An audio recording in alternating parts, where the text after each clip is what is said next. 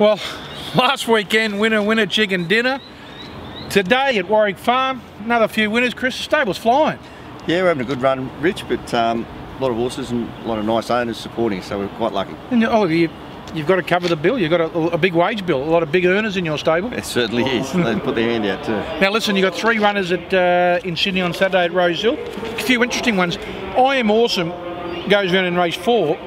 I know it's coming from the country meetings, but geez, it was a terrific run the other day. Yeah, really good run. She had no luck from a gate. She just got caught wide and um, hit the front and, and just just uh, wanted to drift out a little bit under pressure. Um, Brenton's rode her before, first go at city level, and she could surprise. I don't run these type of mares races that often, so it's a nice option for her. The one I'm keen to ask you about is uh, in the Kenzo. What a great horse Kenzo was.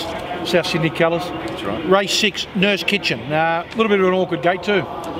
Yeah, she'll um, she'll be ridden just back off the speed. Her run first up was very good at Scone. She went to Doomben and really struggled around the tight turning track. More suitable here at uh, over the 2,000 metres on a big spacious track, and I think she'll race well. Have a look after you. I Am Awesome, 10 of 12. Nurse Kitchen, 10 of 12. Well Sprung, 9 of 11. I might have to be an inquiry. oh, oh, now you sound like, what's that other Richard from Rosehill? Oh, if you missed it on social media, Richard Freedman. Oh, Richie boy, putting on a performance. He kept drawing outside, and while he was sending his last tweet, barrier 5 comes up on the internet. I don't know what you're talking about. what about Well Sprung? Uh, look, he's probably going better than it looks on paper. Um, may just take this run to really top him off, but he's been working well at home and I'm expecting improvement on Saturday. The best of your three? I'll say Nurse Kitchen. What's what's a couple horses in the stable that you're getting ready for the spring? Uh, Miss Fabulous is just back into work. I think she's an exciting two-year-old, rising three-year-old.